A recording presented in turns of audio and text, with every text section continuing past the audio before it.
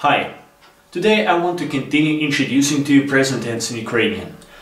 In previous lesson we covered only one ending of indefinite uh, verb, it's ate, and covered only two personal pronouns from this ending.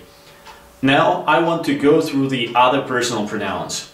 Uh, first couple will be uh, vin, meaning he, and vona, meaning she. So when a personal pronoun uh, uses the verbs, it will, it will have the same ending, actually, both win and vona. Uh, let's go through several words and you will see that the ending is equal. The first one will be uh, the word, the verb to read. In Ukrainian it will be читати. To read, читати. Він читає.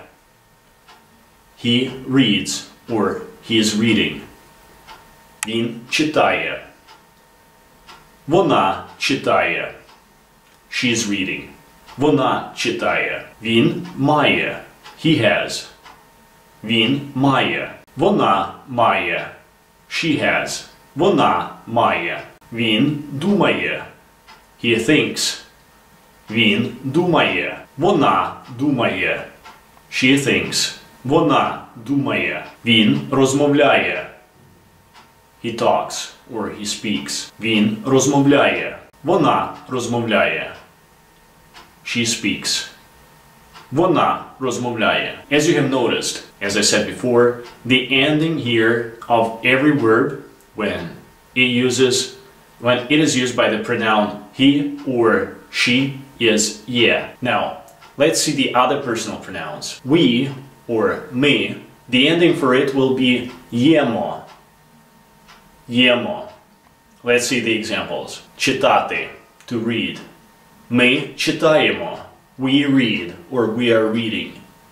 Ми читаємо. Знати, to know. Ми знаємо, meaning we know. Ми знаємо. Мати, to have.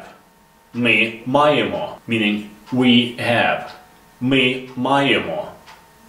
Думати, to think. Ми думаємо. We think. Ми думаємо. Pronoun they, вони. The ending for it will be ють. Let's see the examples. Вони думають. They think. Вони думають. Вони мають. They have. Вони мають. Вони читають. They read.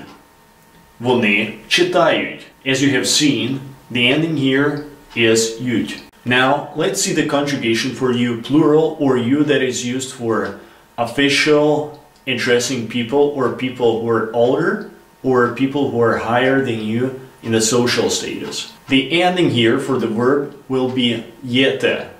Yete. Let's see the examples. Ви думаєте. You think. Ви думаєте.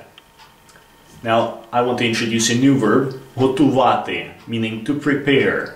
Готувати. Ви готуєте. You prepare. Ви готуєте. Ви маєте. You have. Ви маєте. Please practice repeatedly the structures I introduced to you today and try to use as much as possible the vocabulary from the previous lessons. If you have any questions or comments, feel free to write me or ask me a question.